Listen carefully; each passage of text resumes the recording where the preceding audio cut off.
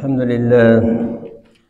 الحمد لله وكفى وسلام على عباده الذين اصطفى. أما بعد فأعوذ بالله من الشيطان الرجيم. بسم الله الرحمن الرحيم. كتب عليكم القتال وهو كره لكم وعسى أن تكرهوا شيئا وهو خير لكم. وعسى أن تحبوا شيئا وهو شر لكم والله يعلم وأنتم لا تعلمون. يسألونك عن الشهر الحرام قتال فيه قل قتال فيه كبير وصد عن سبيل الله وكفر به والمسجد الحرام. وإخراج أهله منه أكبر عند الله والفتنة أكبر من القتل ولا يزالون يقاتلونكم حتى يردوكم عن دينكم إن استطاعوا. ومن يرتد منكم عن دينه فيمت وهو كافر فأولئك حبطت أعمالهم في الدنيا والآخرة. وأولئك أصحاب النار هم فيها خالدون. إن الذين آمنوا والذين هاجروا وجاهدوا في سبيل الله أولئك يرجون رحمة الله والله غفور رحيم. صدق اللہ العظیم یہ سورہ بقرہ چل رہی ہے اور یہ دوسرا پارہ ہے اور سورہ بقرہ کی آیت نمبر دو سو سولہ سے دو سو اٹھارہ تک کی تین آیات ہیں۔ اللہ تعالیٰ فرماتے ہیں کہ تم پر قتال کافروں سے لڑنا یہ تم پر لازم کیا گیا ہے اور حالانکہ وہ تمہیں پسند نہیں ہے اور ہو سکتا ہے کہ ایک چیز کو تم ناپسند کرو اور وہ تمہارے حق میں بہتر ہو۔ اور یہ بھی ہو سکتا ہے کہ ایک چیز تمہیں اچھی لگتی ہو لیکن وہ تمہارے حق میں بری ہو۔ اور اللہ جانتا ہے اور تم نہیں جانتے۔ اور اے نبی جی آپ سے یہ پوچھتے ہیں، حرمت والے مہینے میں جنگ اور لڑائی کرنے کے بارے میں۔ آپ کہہ دیجیے کہ اس میں لڑائی کرنا بہت بڑا جرم ہے اور لیکن اللہ کے راستے سے روکنا اور اللہ کی ذات کا انکار کرنا، مسجد حرام سے روکنا اور مسجد حرام کے رہنے والوں کو وہاں سے نکال دینا، یہ اللہ تعالیٰ کے نزدیک بہت سنگین جرم ہے۔ اور فتنہ یعنی مسلمانوں پر ظلم و زیادتی کرنا، یہ قتل سے بھی بڑا جرم ہے۔ اور یہ اے مسلمانوں، یہ کافر تم سے مسلسل لڑتے رہیں گے، برابر لڑتے رہیں گے۔ یہاں تک کہ یہ تو میں تمہارے دین سے واپس لوٹا دیں، پھرا دیں اگر ان کے بس میں ہو تو۔ اور جو آدمی تم میں سے اپنے دین سے مرتد ہو جائے گا اور اسی حال میں وہ مر گیا کفر ہی کی حالت میں، تو ایسے لوگوں کے اعمال دنیا اور آخرت دونوں جگہ میں برباد ہو جائیں گے۔ اور یہ لوگ دوزخ والے ہوں گے اور دوزخ میں پھر ہمیشہ رہیں گے۔ بے شک وہ لوگ جو ایمان لائے اور انہوں نے اللہ کے ہجرت کی اور اللہ کے راستے میں جہاد کیا، قتال کیا، ایسے ہی لوگ اللہ کی رحمت کے امیدوار ہیں اور اللہ تعالیٰ بڑا بخشنے والا، بڑا ہی مہربان ہے۔ پچھلی آیات میں یہ تقوی کا بیان تھا اور تقوی اور نیکی کے بیان کے سلسلے میں، کل کے درس میں اللہ کے راستے میں مال خرچ کرنے کی بات آئی تھی۔ اور مال خرچ کرنے کا اللہ نے حکم دیا ہے۔ اور آج کی جو آیت ہے، اس میں ایک بہت بڑی نیکی، اللہ کے راستے میں جہاد، اللہ کے راستے میں قتال اور اس کا بیان ہے۔ اور کیونکہ کبھی اللہ کے راستے میں انسان کو مال لگانے کی ضرورت ہوتی ہے، اور کبھی اللہ کے راستے میں اپنی جان کا نذرانہ پیش کرنے کی ضرورت پڑتی ہے، قتال اور جہاد کرنا پڑتا ہے۔ تو اللہ تعالیٰ فرما رہے ہیں کہ یہ قتال اور جہاد تم پر فرض کیا گیا ہے، لازم کیا گیا ہے۔ حالانکہ تم اسے پسند نہیں کرتے۔ تو قتال اور جہاد یہ یہاں اللہ فرما رہے کتب لازم قرار دیا گیا ہے۔ اب قتال اور جہاد یہ لازم کب ہوتا ہے؟ دو صورتیں ہوتی ہیں۔ ایک ہے فرض عین ہونا، دوسرا ہے فرض کفایہ ہونا۔ جہاد اور قتال فرض عین اس وقت ہوتا ہے کہ جب کوئی غیر مسلم کافر ملک، مسلمانوں کے ملک پر حملہ کر دے تو پھر اس وقت دفاعی جنگ لڑنا یہ مسلمانوں پر فرض عین ہوتا ہے۔ اور اس وقت میں اگر مسلمانوں کی مملکت کا امیر بادشاہ وہ اعلان کر دے کہ اب ہر آدمی کے لیے لڑنا ضروری ہے، تو پھر اس صورت میں ہر آدمی پر لڑنا ضروری ہو جاتا ہے۔ اس وقت میں بیٹے کو باپ سے پوچھنے کی ضرورت نہیں ہے۔ بیوی کو خاون سے پوچھنے کی ضرورت نہیں ہے، نوکر کے او اپنے مالک سے پوچھنے کی ضرورت نہیں ہے۔ جب نفیر عام کا حکم ہو جائے، وقت کا بادشاہ اعلان کر دے۔ ہر ایک نہیں اٹھ کے اعلان کر دے کہ بھائی چلنا ہے۔ وقت کے بادشاہ یا آرمی چیف اعلان کرے۔ اور دوسری صورت ہوتی ہے عام حالات میں۔ تو اس صورت میں جہاد اور قتال فرض کفایہ ہے فرض کفایہ کا مطلب یہ ہے کہ جس طرح نماز جنازہ جو فرض کفایہ ہے کسی بستی میں کوئی فوت ہو جائے اور چند لوگ بھی اس کا جنازہ پڑھ دیں تو سب کی طرف سے فرض کفایہ ادا ہو جاتا ہے۔ تو عام حالات میں یہ جہاد جو ہے فرض کفایہ ہے یہ۔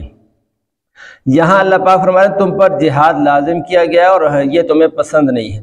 اس کی دو وجہ ہو سکتی ہیں ناپسند ہونے کی۔ ایک وجہ تو یہ ہے کہ ظاہر ہے کہ کتال میں وہ دوسروں پر تلوار چلانی پڑتی ہے۔ انسانوں کو انسان قتل کرتے ہیں۔ تو چاہے انسان کافر بھی ہو تو اس کو قتل کرنا بھی انسان ہے وہ، تو آدمی کو اچھا نہیں لگتا۔ تو اس لیے فرما رہے ہیں کہ تمہیں یہ یعنی یہ لڑنا جو ہے اچھا نہیں لگتا۔ اور اسی لیے کتال اور جہاد جو اس کو حسنلی غیری کہا گیا۔ یعنی یہ اچھا تو ہے، لیکن عام حالات میں اچھا نہیں ہے، کیونکہ ایک انسان کی جان لی جاتی ہے۔ جس طرح لڑائی ہے، عام لڑائی ہے اور اس طرح کتال ہے یہ بھی لڑائی ہے، ایک دوسرے کو مارنا ہوتا ہے۔ تو عام حالات میں تو یہ اچھا نہیں ہے، لیکن کبھی ایسا ہو جاتا ہے کہ اگر کتال نہ کیا جائے تو پھر اپنی جان جاتی ہے، اپنے مذہب کا نقصان ہوتا ہے، دین کا نقصان ہوتا ہے، اس حال میں پھر یہ لازم ہو جاتا ہے۔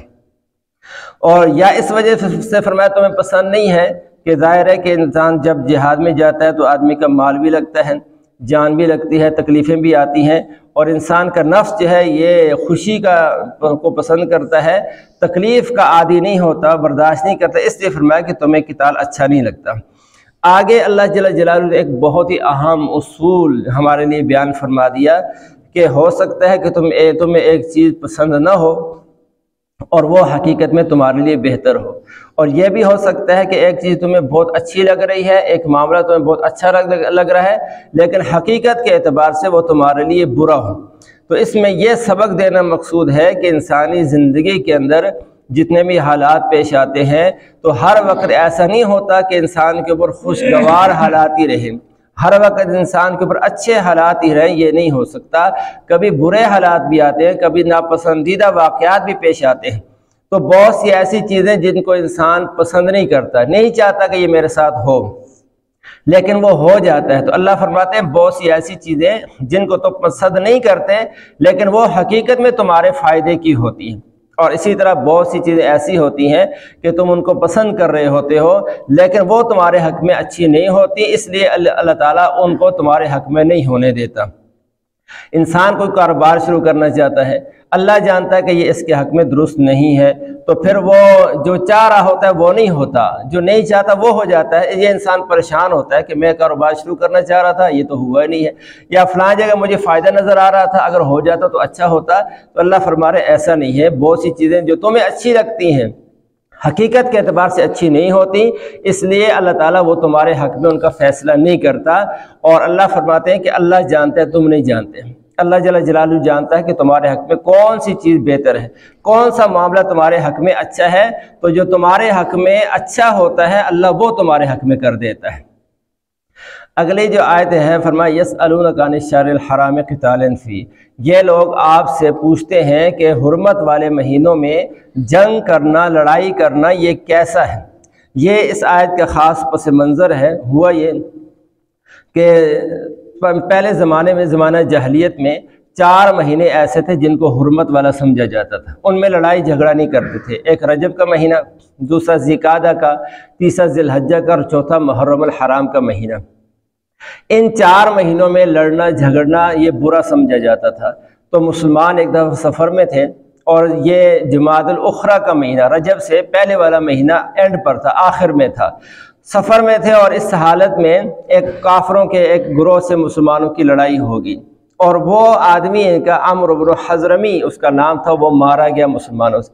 اب مسلمانوں نے یہ سمجھا کہ وہ جماعت الاخرا کی آخری تاریخ تھی۔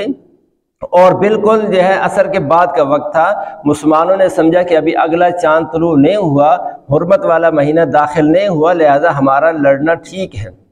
لیکن جب وہ قتل ہوا تو اتنے میں مغرب ہوئی تو وہ غروب جو جب ہوا تو چاند نظر آ گیا رجب کا۔ اب جب رجب کا چاند نظر آیا تو کافروں نے مسلمانوں پر اعتراض کرنا شروع کر دیے کہ انہوں نے حرمت والے مہینے کی حرمت کو پامال کر دیا ہے اور انہوں نے حرمت والے مہینے کے اندر قتال و لڑائی کیا ہمارا بندہ مار دیا یہ اعتراض شروع کر دیا اب مسلمانوں سے جو ہوا تھا وہ جان بوجھ کر نہیں ہوا، وہ غلطی سے ہوگا یہ سمجھ رہے تھے کہ جماعت الاخرہ کی آخری تاریخ ہے اور وہ رجب کی پہلی تاریخ ہو گئی تھی۔ تو غلطی سے ایسا ہو گیا۔ تو اس پر کافروں نے بڑا جو ہے نا شور شرابہ کیا کہ یہ اپنے آپ کو مسلمان کہتے ہیں اور حرمت والے مہینوں کے اندر انہوں نے لڑنا شروع کر دیا ہے ہمارا بندہ مار دیا ہے اس پر یہ آیت نازل ہوئی کہ یہ آپ سے یہ پوچھتے ہیں کہ حرمت والے مہینے میں لڑنا کیسا ہے، برا ہے اچھا ہے؟ آپ کہہ دیجیے کہ ٹھیک ہے، بہت بری بات ہے۔ حرمت والے مہینے میں لڑنا یہ بہت بڑا گناہ ہے، سنگین جرم ہے۔ لیکن تم جو ان سے بڑے بڑے جرموں میں مبتلا ہو، سنگین قسم کے جرائم تم کر رہے ہو، تمہیں اس کا خیال نہیں ہے۔ تم نے مسلمانوں کو اللہ کے راستے سے روکا۔ اور اللہ تعالیٰ کی ذات کا انکار کیا، مسجد حرام میں مسلمانوں کا داخلہ بند کر دیا، اور حرم کے رہنے والے مسلمان ان کو جلا وطن کر دیا۔ مکہ سے نکال کے یہ بیچارے مدینہ چلے گئے ہیں۔ تو یہ بڑے بڑے جرم تو تم نے خود کیے ہیں، یہ تو تمہیں جرم نظر نہیں آ رہے۔ اور مسلمانوں سے غلطی کے ساتھ ایک جو ہے وہ بندہ جو ہے مارا گیا، وہ بھی غلط فہمی کی وجہ سے وہ تمہیں برا نظر آ رہا ہے۔ تو فرمایا والفتنہ تو اکبر من القتل. جو تم مسلمانوں کو سزائیں دیتے رہے ہو مکی زندگی کے اندر، وہ تو اس حرمت والے مہینے میں قتل سے بھی زیادہ بری چیز تھی۔ تمہیں اس کا خیال نہیں آیا اور مسلمانوں سے غلطی ہوگی تو اس پر شور شرابہ شروع کر دیا ہے۔ آگے اللہ فرما رہے کہ یہ کافروں کی عادت ہے، یہ تم سے ہمیشہ لڑتے رہیں گے۔ ان کی چاہت یہ ہے کہ یہ تمہیں تمہارے دین سے پھیر کے رکھ دیں، تمہیں دوبارہ کافر بنا دیں۔ اور یہ خیال رکھنا کہ جو تم میں سے اپنے دین سے پھر جائے گا، اسلام کے بعد دوبارہ کفر میں چلا جائے گا، چاہے کافروں کے دباؤ کی وجہ سے یا اپنی رضامندی کی اور کسی لالچی وجہ سے دوبارہ کافر ہو جائے گا، اور اسی حال میں اگر مر گیا تو اللہ فرمانے دنیا اور آخرت میں تباہ برباد ہو جائے گا۔ دنیا اور آخرت میں اس کے اعمال برباد ہو جائیں گے اور ایسے لوگ دوزخ والے ہمیشہ ہمیشہ دوزخ کے اندر رہیں گے۔ اس لیے جو آدمی اپنے دین کو چھوڑ دے، مذہب کو چھوڑ دے، اسلام کو چھوڑ کر دوبارہ کفر کا راستہ اختیار کر لے، تو اسلام کے اندر پھر اس کی سزا یہ ہے کہ تین دن تک اس کو مولت دی جائے گی، اس کے جو اعتراضات ہیں ان کو دور کرنے کی کوشش کی جائے گی۔ اگر وہ پھر بھی کفر پر باقی رہتا ہے، تو پھر سرکاری حکومت کا یہ اختیار ہے کہ وہ اس کو قتل کر دے۔ پھر مرتد کی سزا وہ قتل ہے اور مرتد کی سزا قتل ہے، ہر آدمی نہیں اٹھ کے قتل کر سکتا۔ کہ یہ آدمی مرتد ہو گیا، لہٰذا میں اس کو قتل کروں گا۔ اسلامی حکومت کی ذمہ داری ہے۔ وہ یہ کام کرے۔ اگر اسلامی حکومت نہیں ہے، تو پھر اسلامی حکومت کا لانا یہ سارے مسلمانوں کی ذمہ داری ہے کہ وہ اسلامی حکومت لے کر آئیں پھر۔ اور آگے فرمایا کہ جو لوگ ایمان والی، نیک اعمال والی زندگی گزاریں گے، اللہ کے راستے میں ہجرت کریں گے، اللہ کے راستے میں جہاد کریں گے، ایسے لوگ اللہ کی رحمت کے امیدوار ہیں، مستحق ہیں۔ اور اللہ تعالیٰ بڑا بخشنے والا، بڑا ہی مہربان ہے۔ اللہ تعالیٰ مجھے آپ کو عمل کی توفیق